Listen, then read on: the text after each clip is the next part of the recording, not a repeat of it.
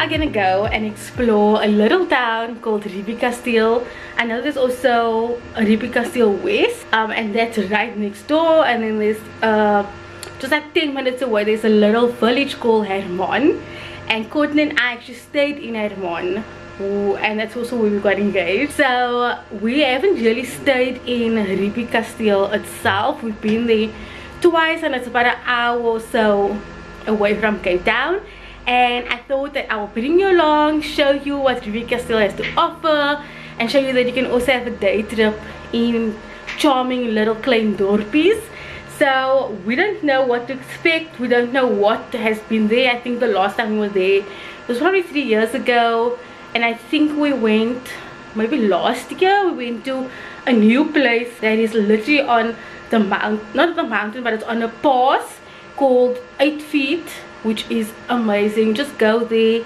You can get get some coffee. You can overlook the landscape of Riebeek Kasteel you'll see like vineyards kind of just below. Maybe Gordon I will stop there and I'll show you what I mean. I think I, I did go there. We went on a day trip to Ceres. So we stopped there actually for coffee and a bite to eat but maybe we'll go there and kind of just show you the beautiful landscape at 8 feet. Um, and then really just go into the town explore it. Maybe they have a market. I don't know because I know small towns love their markets on a Saturday. We're just gonna go we're gonna have a fun time and I want to bring you along and show you what these small towns have to offer. So let's go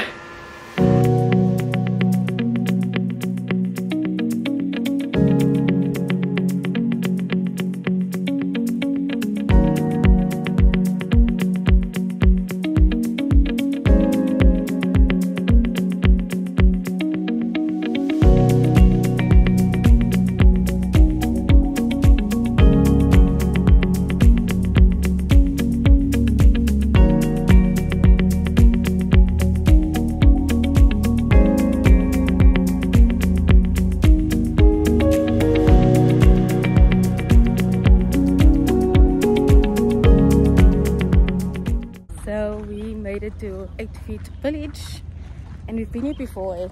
Yes. So it's a last time I remember we had like a thick pie. Coffee very, very very nice. Yeah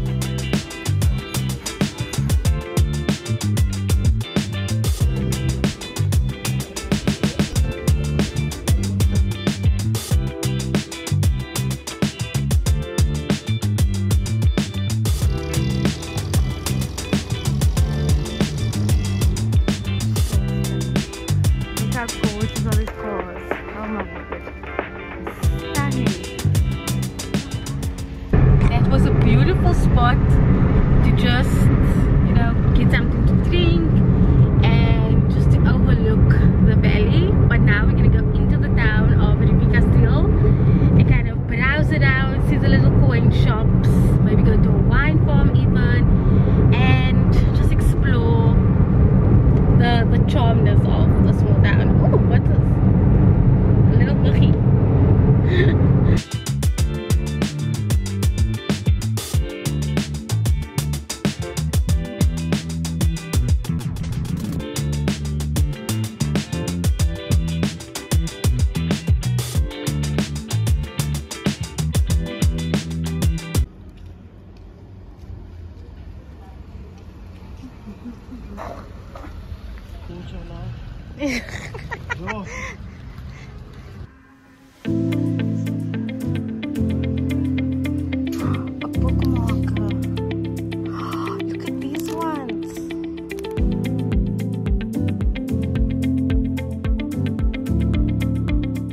Got our own map because we were so confused.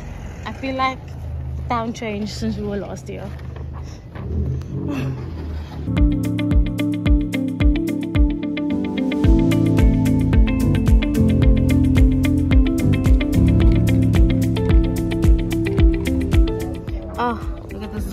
pizza and then we've got chicken wings with fries. Ooh. Trying to get the flies away.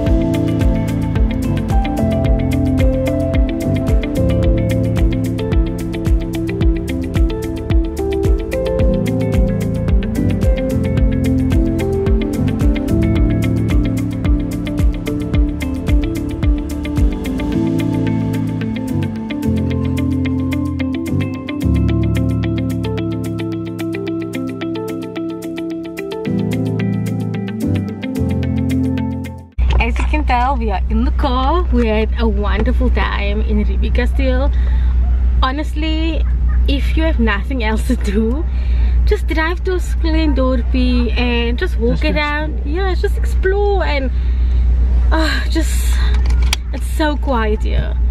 And that's what I like. Like it's not crowded. There is a I know there's always like a morning rush in small towns but come like 11 o'clock around and it's honestly it's not crowded at all. If it's not in the holiday season obviously. But we had a great time. And yeah we will see you guys in the next vlog. Bye